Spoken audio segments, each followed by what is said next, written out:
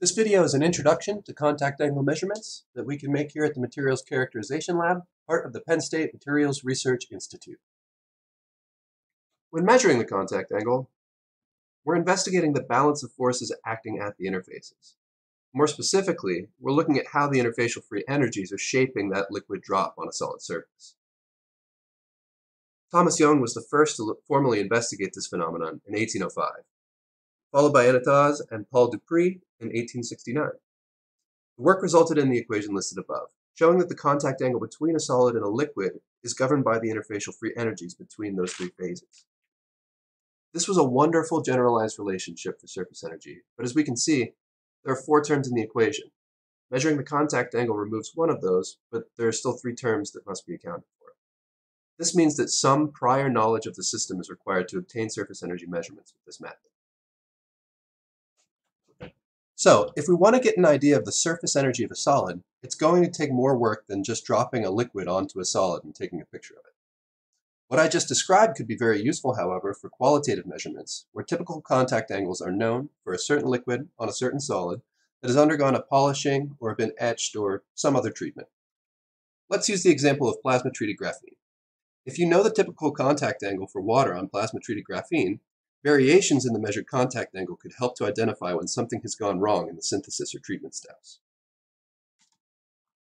If the goal is to approximate surface energy, however, a model representing the interfacial system must be used.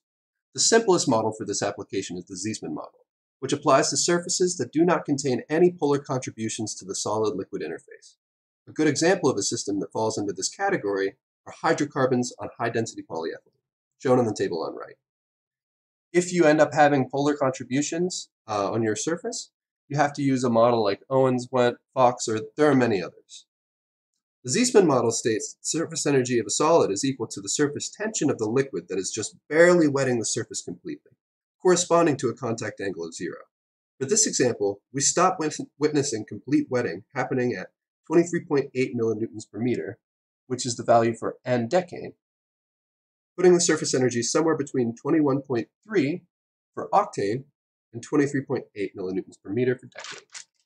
For a more accurate surface energy value, we can plot the line corresponding to surface tension of the liquid against the cosine of the contact angle.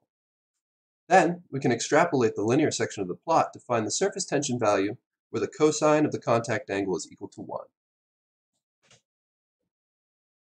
This is all well and good, but what happens when we don't know the surface tension values of the liquids used for the measurements? In this case, we can use a technique called pendant drop and sessile drop to gain more information about the surface tension. Both methods analyze the shape of the drop, either as it hangs from the syringe tip or as it sits on a solid surface. On the bottom of the screen is a diagram paired with the actual images from our instrument. We have the ability to feed back off of the volume calculated in the live image to keep a constant drop volume. That can be very helpful. And the software that controls the instrument is also used to analyze the data, using image processing algorithms to return the results. Other software, such as ImageJ, could also be used to extract the shape of the drop, and in the case of the sessile drop, utilities such as Wolfram's configuration of a sessile drop can be used to fit the data. I won't go into the details, but using a careful combination of these techniques, we're able to estimate the surface tension of our liquids, which can then be used to estimate the surface energy of our solid. The instrument used to make these measurements here at the MCL is the ramé-hart Model 590. It's called a goniometer tensiometer because it can measure both the contact angle and drop shape, giving information about surface energy and surface tension respectively. Some of the capabilities of the ramé-hart 590 include being able to tilt the stage to attempt to deconvolute the effect of gravities and other surface tension components. Our environmental control attachment allows us to raise the temperature up to a stable 250 degrees Celsius and operate from a low vacuum up to 0.6 atmospheres. An inverted needle and quartz cell attachment allow for liquid-liquid studies, inverted sessile drop, and captive drop experiments. The ramé-hart 590 also allows us to take multiple data acquisitions spread out by a specified time interval, allowing for time-dependent studies to be carried out.